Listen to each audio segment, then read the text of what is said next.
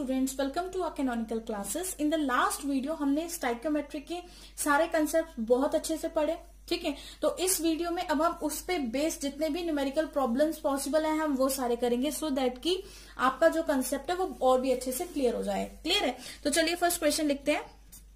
इस, इसके, इस वीडियो के अंदर हम एप्लीकेशन सीखेंगे कि उसको अप्लाई कैसे किया जाता है। ठीक है? तो चलिए स्टार्ट करते हैं। फ़र्स्ट क्वेश्चन लिखते हैं। Calculate the amount of carbon dioxide calculate the amount of carbon dioxide that could be produced that could be produced that could be produced when a part when one mole of carbon is burnt in air one mole of carbon is burnt in air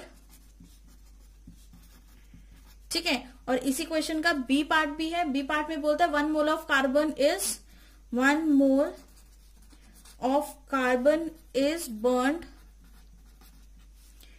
in 16 gram of dioxygen clear है?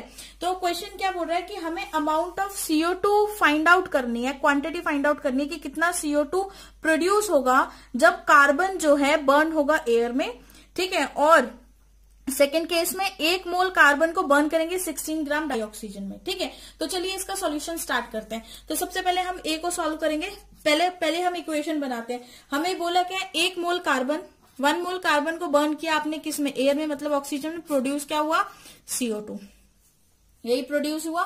ठीक है, यही थी आपकी equation अब इस equation को सबसे फ़र्स्ट स्टेप जो है हमारा balancing of chemical equation stoichiometry के क्वेश्चन स्टार्ट करने से पहले आपका सबसे पहला नज़रिया जो होना चाहिए वो किस तरफ़ होना चाहिए कि हमें इस इक्वेशन को बैलेंस करना है? तो carbon one carbon one oxygen two oxygen two balance हमारी इक्वेशन क्या है? बैलेंस अब उसके बाद जो सेकेंड स्टेप है सेकेंड स्टेप में हमें क्या करना है? हमें मोल्स फाइंड आउट करने हैं जो हमें गिवन है. ठीक है? तो यहाँ पे मुझे गिवन क्या है? देखो सबसे पहले गिवन मुझे क्या है?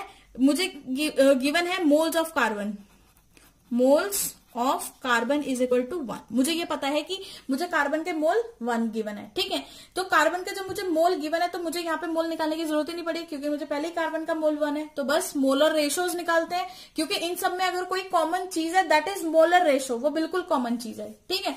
तो मोलर रेशो किसकी निकालते हैं? कार्बन का गिवन है कार्बन डाइऑक्साइड निकालना है। तो लिखिए N C upon N CO two यही आएगी, ठीक है? साइक्योमेट्रिक कोफिशियंट ऑफ़ कार्बन क्या है?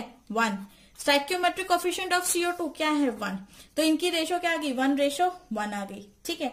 तो चलिए, आपके पास जो मतलब नंबर ऑफ़ मोल्स आ गए, वो कितने आ गए आपके पास? वन आ गए। क्लियर इतना? अब हमें फाइंड आउट करना है मतलब हमारे पास number of moles of carbon one है और number of moles of CO two भी क्या है? आपके पास वन है। तो चलिए, देखिए, ये इसके इक्वल है, ये इसके इक्वल है तो हमारे पास यहाँ से फाइंड आउट हो गया number of moles of CO two कितने हो गए? वन मोल कितना मोल हो गया? वन मोल ठीक है? अब number of moles of CO two अगर आपको पता लग गया तो हम फॉर्मुला पुट कर से N is equal to given mass upon molecular mass number of moles आपको पता है? वन गिवन मास आपको फाइंड आउट करना है। मोलिक्यूलर मास कितना होता है? Carbon dioxide C O two का कितना हो गया? Twelve plus two into sixteen कितना हो गया? 44 टोटल ठीक है? 44 यूनिट्स हो गया तो यहाँ पे 44 लिखेंगे। ठीक है क्रॉस मल्टीप्लाई करिए। वन आपने इसको क्रॉस मल्टीप्लाई किया। ये इधर चला गया, ये इधर चला गया, ठीक है? तो आपके पास यहाँ पे यूनिट क्या गई? W is equal to forty four grams जो आपके पास गिवन जो आपको गिवन मास था, जो आपको अमाउंट फाइंड आउट करना था, वो कितना हो गया आपका? 44 ग्राम ठीक है? वेरी इजी क्वेश्चन कुछ भी नहीं था इस क्वेश्चन में, बहुत आसान क्वेश्चन था, फिर से समझते हैं। जब कार्बन ने ऑक्सीजन के साथ रिएक्शन की तो प्रोडक्ट क्या बना? सीओ टू ठीक है? स्टेप बाय स्टेप मेरे, जैसे मैं करवा रही हूँ स्टेप बाय स्टेप जाना। ठीक है? नहीं तो आप मिस कर देंगे। देखिए carbon plus O two gives you CO two तो हमें गिवन क्या था? वन मोल ऑफ़ कार्बन ये मुझे क्वेश्चन में गिवन था कि कार्बन का एक मोल बर्न किया है आपने एयर में। देखिए one mole of carbon is burn in air तो मतलब कार्बन का मोल कितना गिवन है? वन तो मैंने क्या निकाल दिया? मोलर रेशो निकाली मोलर रेशो क्यों मैंने यहाँ पे यूज़ करी? क्योंकि इन कंपाउंड्स के अंदर इन रिएक्शन के अंदर अगर कोई चीज़ सेम है तो वो आपकी मोलर रेशो सेम है। ठीक है? तो इसलिए मैंने क्या किया? मोलर रेशो उन दोनों की निकाली जो, एक जो मुझे गिवन था दूसरा जो मुझे फाइंड आउट करना था। ठीक है? तो कार्बन का मुझे गिवन था वन दूसरा नंबर ऑफ़ मोल्स मुझे फाइंड आउट करने थे, ठीक है? इसलिए मैंने उसको लिखा। तो कॉफिशियंट कार्बन का क्या था? वन और सीओ का क्या था? वन तो यहाँ से ये दोनों एक दूसरे के इक्वल हो गए। तो नंबर ऑफ़ कार्बन तो वन ही थे। सीओ को यहाँ से पता लगा कि number of moles of CO पे कितने आ गए? वन आ गए। तो अब आपने फॉर्मुला पुट कर दिया N is equal to given mass upon molecular mass molecular mass आपको पता था। नंबर ऑफ़ मोल्स आपने फाइंड आउट कर लिया वन निकाल के। ठीक है? तो आप गिवन जो आपके पास ये है वेट है, कितना सीओ टू प्रोड्यूस हुआ, वो आपने फाइंड आउट कर लिया बाय सॉल्विंग द इक्वेशन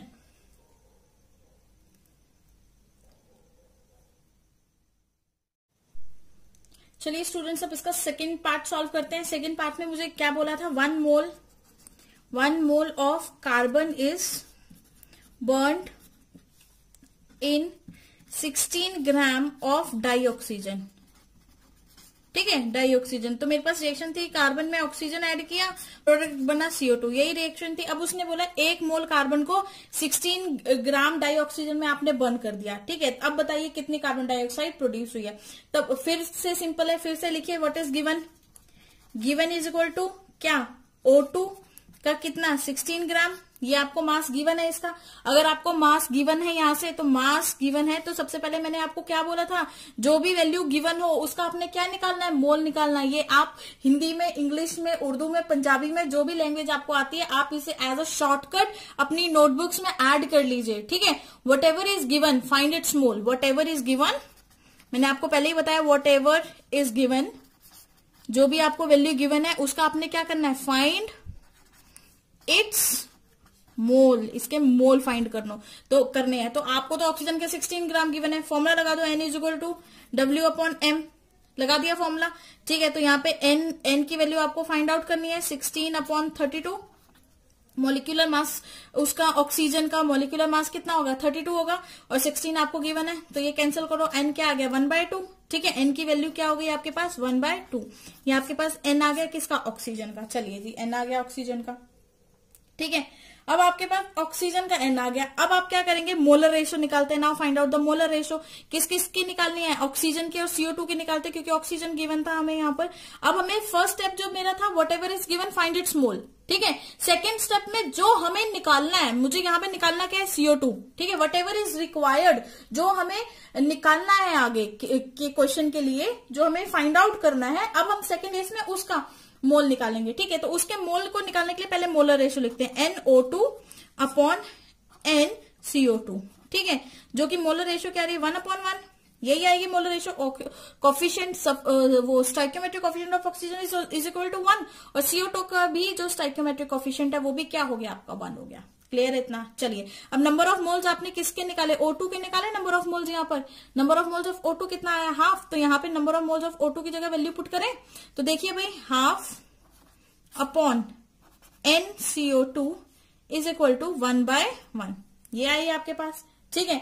अब आपके पास अगर ये वैल्यू आ गई है तो अब आप इसको कैसे कर सकते हैं? Number of moles of CO two अब आप क्या कर सकते हैं? इसको अगर मैं शॉर्ट इजी फॉर्म में लिखूं इजी फॉर्मेट में लिखूं तो मैं इसको कैलकुलेट करने के लिए क्या लिख सकती हूँ?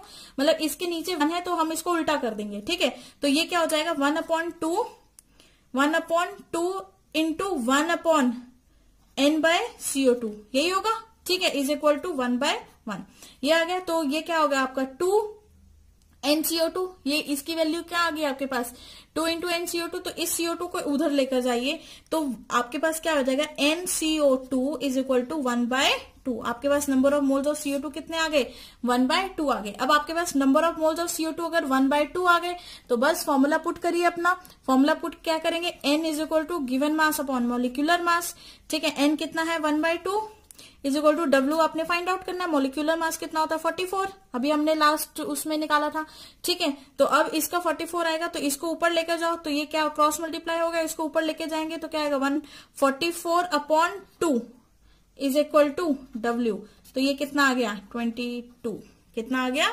ट्वेंटी टू ठीक है तो वेट इज़ इक्वल टू तो यहाँ पे आपने जो वेट फाइंड आउट किया वेट कितना आ गया आपका? Twenty two gram of CO two इधर से जो कितनी सीओ टू प्रोड्यूस हुई आपकी? 22 gram of CO two produced जब आपने कार्बन को बर्न किया इन कितने ग्राम ऑक्सीजन में? 16 ग्राम ऑक्सीजन में। वेरी वेरी इंपॉर्टेंट फिर से बताती हूँ, जो आपको गिवन था, आपने उसका मोल फाइंड आउट किया सेकेंड उसके बाद मोल कैसे फाइंड आउट किया, आपको गिवन मास गिवन था मोलिकुलर मास डाला नंबर ऑफ़ मोल्स आपके पास आ गए।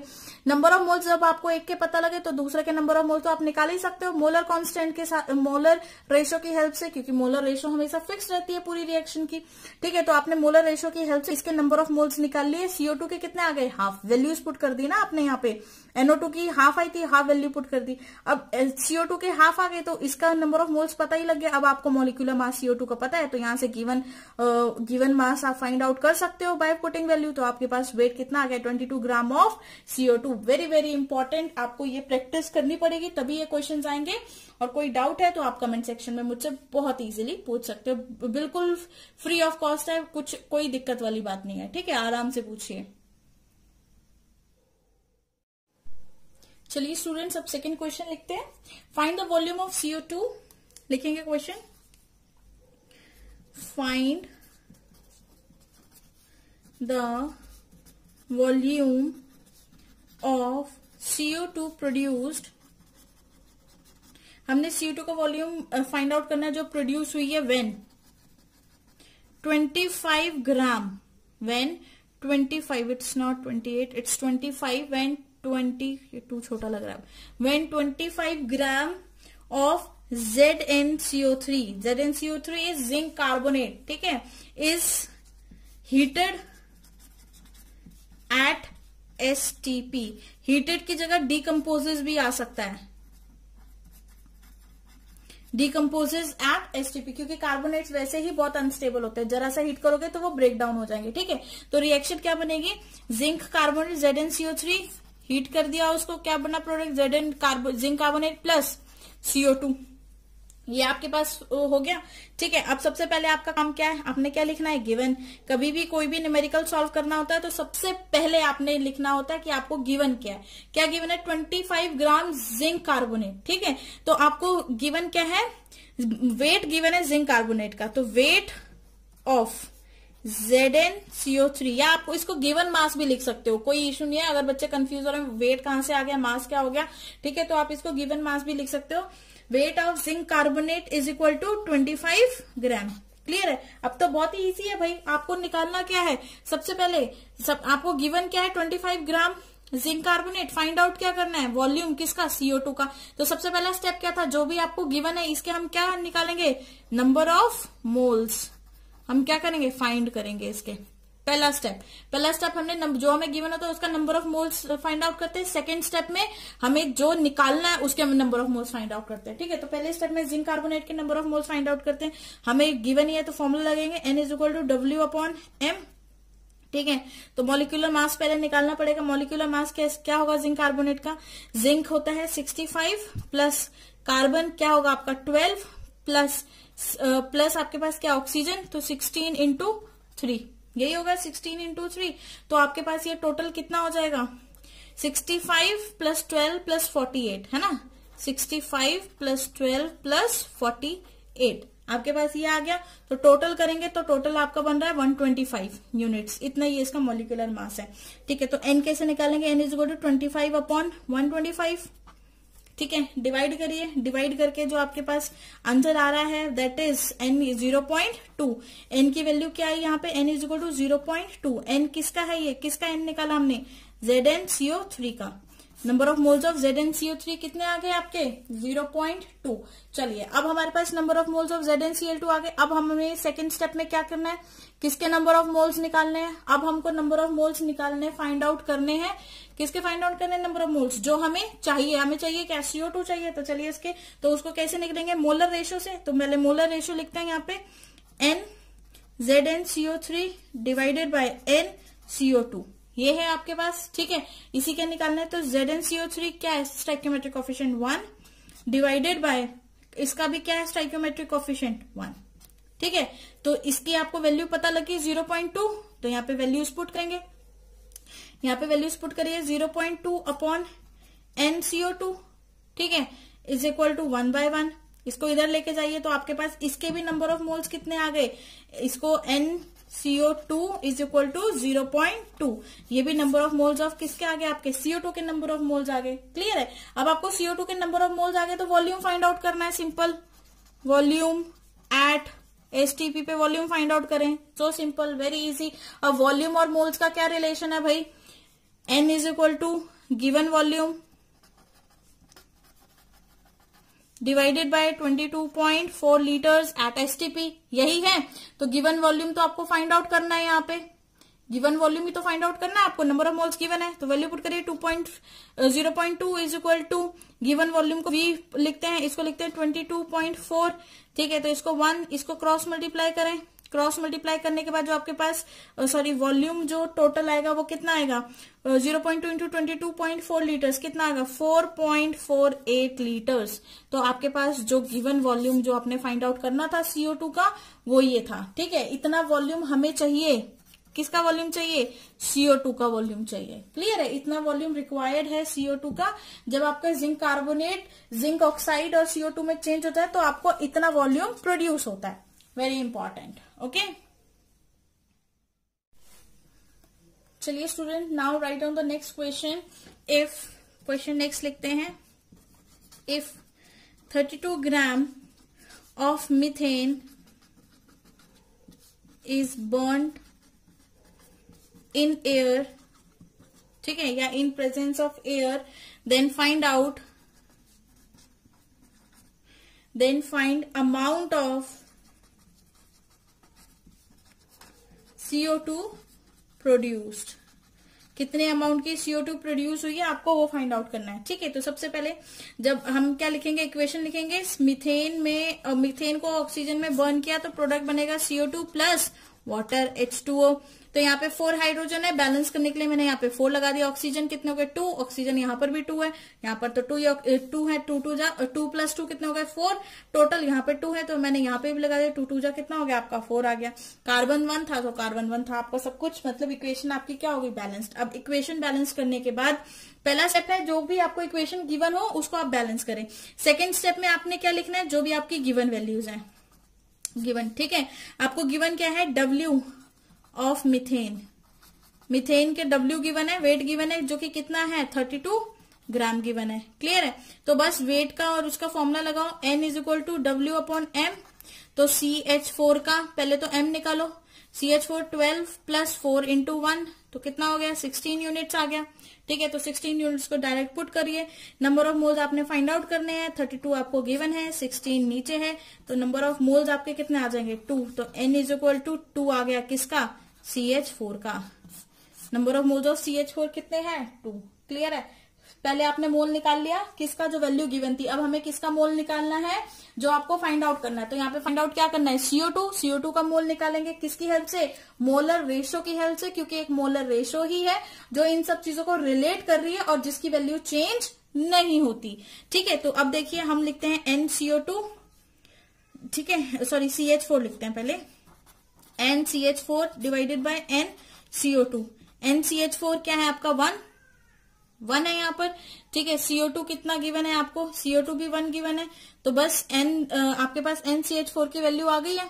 तो एन सी एच फोर की वैल्यू पुट करें कितनी आ जाएगी? देखिए तो आप यहीं पे वैल्यू पुट कर देते हैं। एन सी एच फोर की वैल्यू टू आई है। N CO two is equal to one by one तो इसको इधर लेकर जाओ।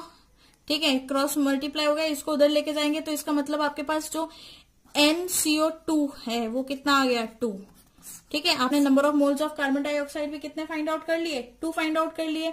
अब आपके पास नंबर ऑफ़ मोल्स आ गए, अब आपको क्या बताना था, कितना amount of CO two produce हुआ? ठीक है तो फिर से फॉर्मूला लगाइए for CO two for CO two N is equal to given mass upon molecular mass ठीक है गिवन मास आपको कितना फाइंड आउट करना है? तो एन की वैल्यू अगर यहाँ पे टू है two is equal to W upon CO two का मोलिकुलर मास फोर्टी फोर होता है। कैसे? CO two twelve plus sixteen into two, ठीक है? तो ये कितना हो गया? थर्टी टू प्लस ट्वेल्व, कितना हो गया? Forty four units. तो चलिए फोर्टी फोर यूनिट्स यहाँ पे ऐड करिए। किया आपने, अब इसको क्रॉस मल्टीप्लाई कर दीजिए। ठीक है डब्ल्यू वन वन को उधर ले जाइए फोर्टी फोर को इधर ले जाइए तो two into forty four is equal to W जो कि किसके इक्वल आएगा? Two into forty four is equal to W किसके इक्वल होगा? Eighty eight grams is equal to W तो ये आपका given amount CO sorry CO two इतनी अमाउंट ऑफ़ सीओ टू क्या होगी आपकी? रिलीज़ होगी। ठीक है? Amount of CO two evolve इतने अमाउंट की आपकी सीओ टू क्या होगी? इवॉल्व होगी। ओके